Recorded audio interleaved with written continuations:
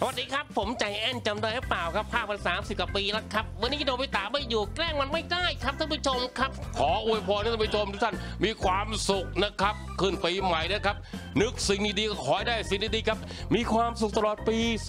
2561 กันนะครับพลังขึ้นเต่าสุดท้ายฟ้าอีกทีหนึงเย้เอาเฮหน่อย ขนกันมาทั้งกองทัพแบบนี้เลยนะคะ เป็นคำอวยพรที่สาวกการ์ตูนนั้นปลื้มสุดๆค่ะ เพราะว่าน้าต๋อยเซมเบ้นั้นพากย์เสียงอวยพรเป็น 3การ์ตูนดังเลยจำได้ไหม ได้โงจำกุได้ลจำได้โงกุลโมริโคโกโร่ค่ะใจแอนนะเราชอบมากเลยใจแอน ต้อนรับปีใหม่แบบสนุกสนานค่ะ ในงานปาร์ตี้รวมพลคนรักน้าต๋อย หลังแฟนๆเรียกร้องขอให้จัดงานเพราะว่าคิดถึงเหลือเกินค่ะ ซึ่งไฮไลท์สำคัญยังอยู่ที่การจับของขวัญปีใหม่ด้วยนะคะน้าต๋อยเอาเกมแฟมิคอมรุ่นปี 2528 โอ้โหสักกว่า 30 ปีค่ะมาเป็นรางวัลใหญ่ ใครเห็นก็ลุ้นอยากได้เหลือเกินค่ะ เรียกว่าถูกใจนะอืมแต่ละคนมากหายากอะๆค่ะ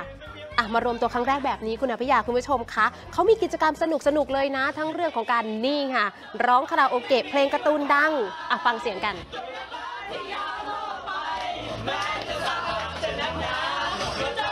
ฟังออกไหมเราว่าอะไร คือกติกาของการร้องคาราโอเกะนี้เขาบอกถูกผิดไม่เป็นไรนะ เอามันไว้ก่อนนะคะค่ะหลายคนนี่คุณผู้ชมเหมือนหลุดโลกเลยนะคะ แต่งคอสเพลย์กันจัดเต็มทั้งนี่ค่ะช็อกเกอร์นะคะวายร้ายจากไอ้มดแดงรวมถึงแนวน่ารักน่ารักใสๆนะ ไม่ว่าจะเป็นอย่างโปเกมอนวันพีซและขบวนการ 5 สีก็มากันหมดเลยค่ะ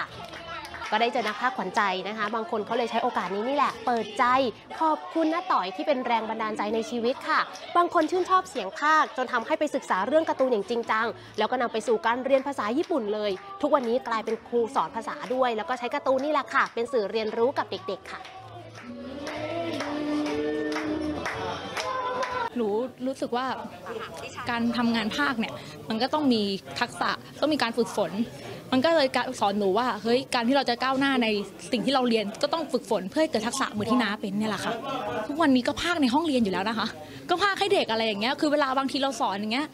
เราจะใช้โมโนโทนเสียงเดียวเราไม่ได้ เราก็ต้องมีการภาคเปลี่ยนเสียงให้เด็กมันแบบเฮ้ยตึ้งๆอะไรอย่างงี้นิดนึงยังไม่ต้องสงสัยค่ะหนูเป็นอาจารย์สอนหนังสือสอนภาษาญี่ปุ่นอยู่ที่โรงเรียน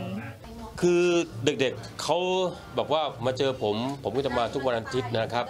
แล้วเด็กๆก็บอกว่ามา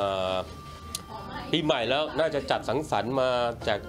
จับฉลากรางวัลกัน ตอนแรกว่าจะจัดงานวันเด็กบอกผมไม่จัดแล้ว เพราะว่ามันเลยยุ่งหมดแล้ว แล้วพวกนี้ก็เคยจัดมันมา30ปี แล้วตอนเขาเป็นเด็กๆกันเดี๋ยวนี้โตหมดแล้วนะครับ ก็เลย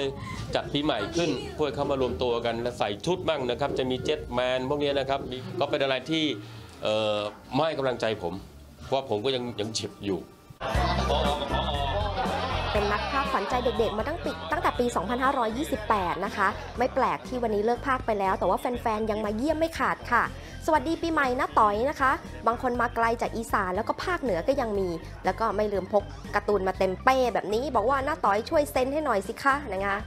เอากลับไปเป็นของขวัญค่ะ แม้จะอยู่คุยด้วยได้ไม่นาน แต่ว่าสำหรับน้าต่อยแล้วกำลังใจจากแฟนๆเป็นของขวัญชิ้นสำคัญเลยนะคะ ให้ต่อสู้กับอาการป่วยมาจนถึงทุกวันนี้ค่ะ เกาะโรคประจำตัวหอบหืดแล้วก็งูสวัสดนะคะ หลังผ่าตัดกระดูกสันหลังเพราะวันโรคกระดูกด้วย ตอนนี้น้าต่อยก็จะปวดหลังหน่อยละค่ะ ถ้าเกิดว่าต้องยืนหรือว่าเดินนานๆนะคะ ก็เลยทำให้แป๊บๆก็ต้องพักแล้วค่ะ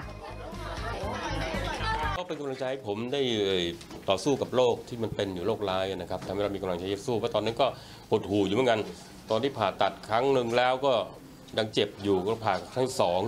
นะครับผ่าครั้งที่สองนี่ก็เจ็บอีกเหมือนกันโอ้แล้วยังมีงูสวัสดมันขึ้นมาตั้งแต่มาสามปีที่แล้วมันก็ไม่ยอมหายทีทานยามาประมาณตอนนี้นะฮะ ห้าพันกว่าเม็ดแล้วยาฆ่างูสวัสดเนี่ยก็ยังต้องทานต่อไป มันเป็นเรื่องทรมานมากเลยเนี่ยนะครับแต่ก็มีเด็กๆพูดได้มาให้กำลังใจกันนะครับเอาวิหน่อยได้เงียบไปเลยนะเป็นอะไรกัน เมื่ออาทิตย์สองอาทิตย์ก่อนก็ยังเอาสตันท์รุ่นพี่ที่ที่เคยร่วมโชว์ในงานอุลตร้าแมนไลฟ์โชว์เมื่อปี 36 เนี่ย มามาหานะแกนะแกก็ดีใจไม่ดีใจมาก ซึ่งซึ่ง